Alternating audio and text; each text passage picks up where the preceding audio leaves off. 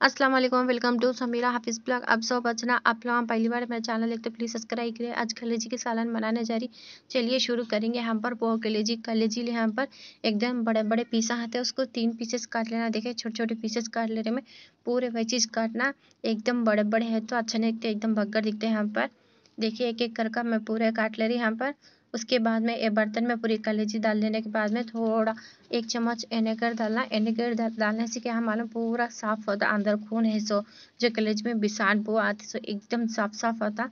ऐसा इसको मिला को एक दस मिनट, पाँच मिनट अब लग सकते।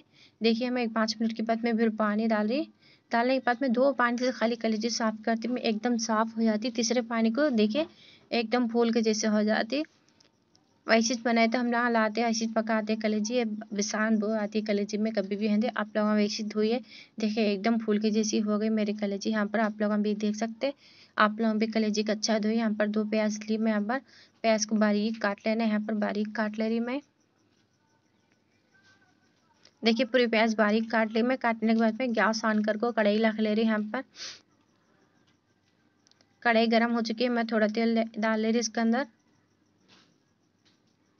तेल गर्म होने के बाद में अपनी प्याज कटी हुई डाल देना इसके अंदर।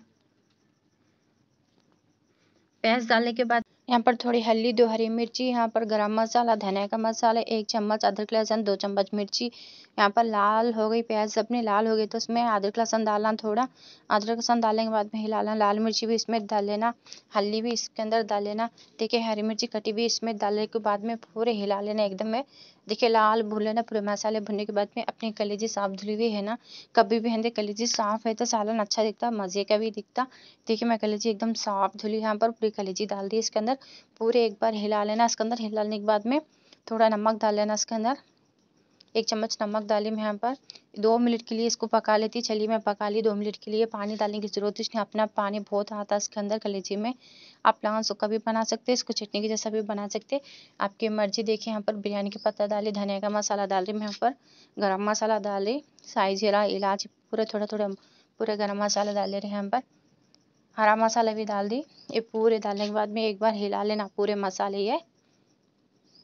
चलिए पूरे मसाले हिला रही मैं। आप लोग थोड़ा पानी डाल सकते हैं चटनी के जैसा हना बोलता है अपने को। चलिए मैं थोड़ा पानी डाले, थोड़ा पानी डालने के बाद में एक बार हिलाइए, इसको हिलाने के बाद में ढक्कन ढप को थोड़ी देर खाली एक सेकंड के लिए इसको पका लेना, गरम मसाले पूरे डाल लेना, थोड़ा चटनी जैसा कर लेना। देखिए हमारे कलेजी पक चुके हैं हम पर, बहुत मज़े की है। चलिए मैं निकाल कर बता थी आपको, रोटी में, खाने में बहुत अच्छी दिखती है, बच्चे को तो मज़े की दिखती है। आप लोग भी एक बार ट्राई करिए, ट्राई करने के बाद में इनको कमेंट में बोले हमारा वीडियो अच्छा लगा तो लाइक करिए, शेयर करिए, सब्सक्राइब करिए।